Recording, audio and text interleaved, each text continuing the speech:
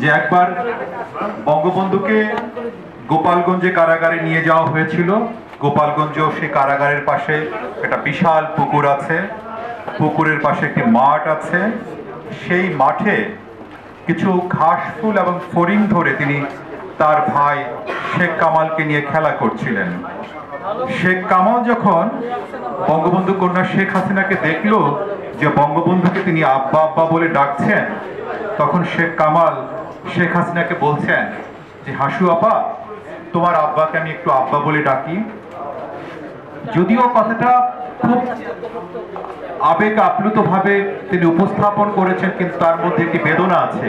কারণ শেখ কামাল যখন জন্ম নিয়েছিলেন, তখন বঙ্গবন্ধু কারাগারে ছিলেন এবং শেখ কামালকে দেখারও সুযোগ পাননি। এই যে একটি পরিবার আমাদের জাতিকে এত কিছু দিয়েছে, এখন দিয়ে যাচ্ছে। সেই পরিবারের কন্যা শেখ হাসিনা আজকে তার জন্ম উৎসবে কথা বলতে পেরে আমরা নিজেরাই আনন্দিত এবং কৃতজ্ঞ।